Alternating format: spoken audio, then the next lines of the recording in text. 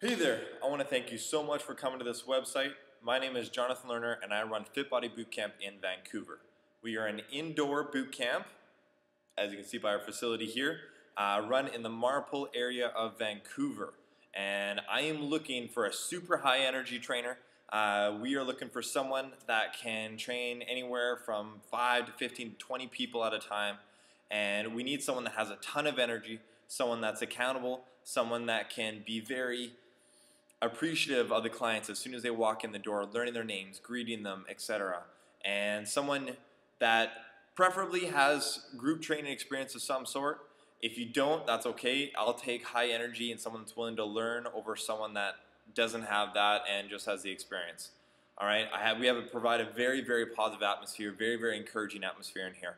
And that's uh, the kind of trainer and the kind of person that we need in here to keep my clients motivated.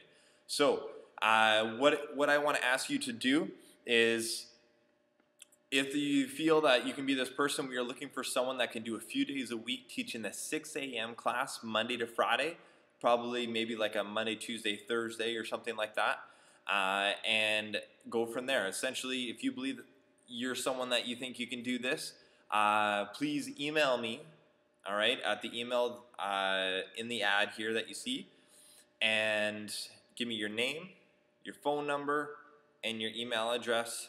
And a couple things I also want you to give me are any certifications that you have. What's your prior experience? Do you have experience training groups? Okay, so that'll be question number two.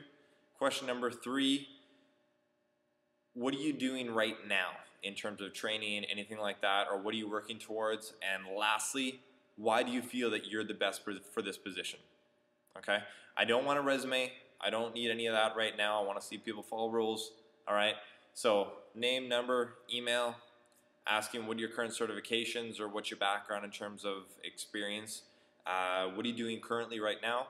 And lastly is why do you think you're the right person for this job? And Why do you think you're the person that has the highest energy and will be able to get people results? All right. All right. I just have one more question that I totally forgot to ask you is what are your plans five, ten years down the road? So what are your big goals down for the future and what are the things that you want to be able to do?